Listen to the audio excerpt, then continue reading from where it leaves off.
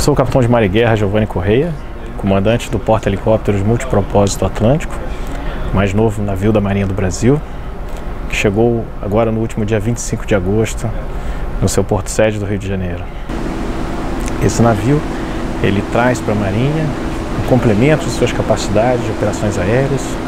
operações anfíbias e controle de uma força-tarefa no mar. Controle de vários navios operando juntos e uma grande e extensa área marítima,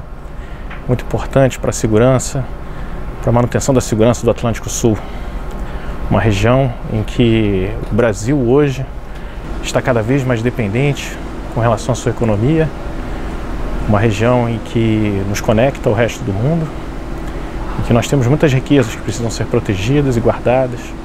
um grande patrimônio da nação brasileira.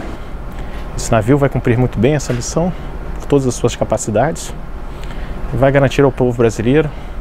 que a nossa zona econômica exclusiva, uma área que corresponde a quase metade do território nacional brasileiro, vai estar bem guardada, bem protegida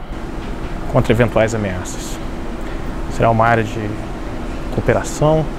uma área de paz, em que os nossos produtos brasileiros poderão é, ser exportados por via marítima ou poderão ser é, poderão circular livremente nesta região.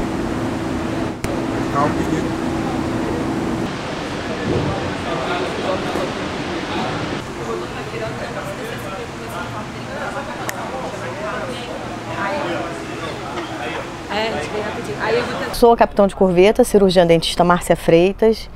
Sou a chefe de departamento de saúde do porta-helicóptero multipropósito Atlântico. É uma grande satisfação, é motivo de grande orgulho ser a primeira mulher a ser chefe de um departamento, é, de um navio em que tem uma função muito nobre e que tem funções muito importantes e certamente, ao mesmo tempo, requer uma grande responsabilidade profissional, operacional e certamente, muito pouco tempo, o Atlântico já se encontra em condições de realizar futuras missões, importantes missões, como já temos